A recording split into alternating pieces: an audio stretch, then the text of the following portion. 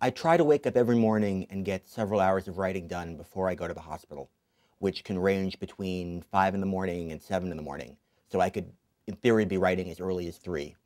Do a few hours of writing, see my patients during the day, um, and intermittently during the day, I do some phone interviews. If I'm on call at the hospital, I can write a bioethics column.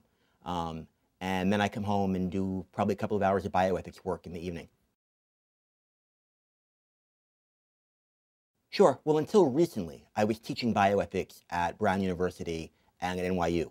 Um, so there I would have my full classroom either of undergraduate or graduate students, and I would do some consulting work on the hospital floors as well. Um, now, since I'm practicing medicine nearly full-time at Mount Sinai in psychiatry, I do occasional bioethics consults inside the hospital at Mount Sinai, but far more often I'm consulting people outside, giving them advice on issues relating to the beginning of life, the end of life, Oh, absolutely. Um, I think 30 years ago, there were no bioethicists. It is one of the new occupations of the technological age that we live in.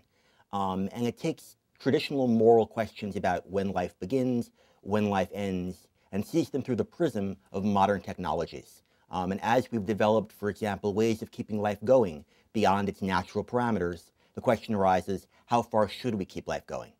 And a bioethicist inside the consulting setting of the hospital doesn't offer people answers. It sets out parameters for people to think about answers so that a family on their own can make decisions based upon different ways other people have handled these situations in the past.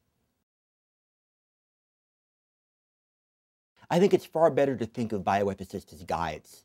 I think there is a cottage industry now of people who have made a living or a career out of criticizing bioethicists because they view bioethicists as these platonic guardians on high who step into the fray and say, this is how we will do things. I know no professional bioethicists who actually operate that way. Um, far more bioethicists show people the signposts, show people the different alternatives, and let them make their own decisions. Um, and I think that's important. I think that in the same way you wouldn't want your medical or legal decisions made by someone else, you would want to be consulted on an expert and then make the decisions on your own. A bioethicist is an expert who shows you the different parameters and then lets you make your own decision. Um, I should add before the 1970s, philosophy as a field had branched far away from moral thought. It delved into questions of epistemology, the five-year-old's age-old question, when my parents leave the room, do they still exist? And it's bioethics that, in addition to working inside the hospital with families, has also brought morality back into the field of philosophy.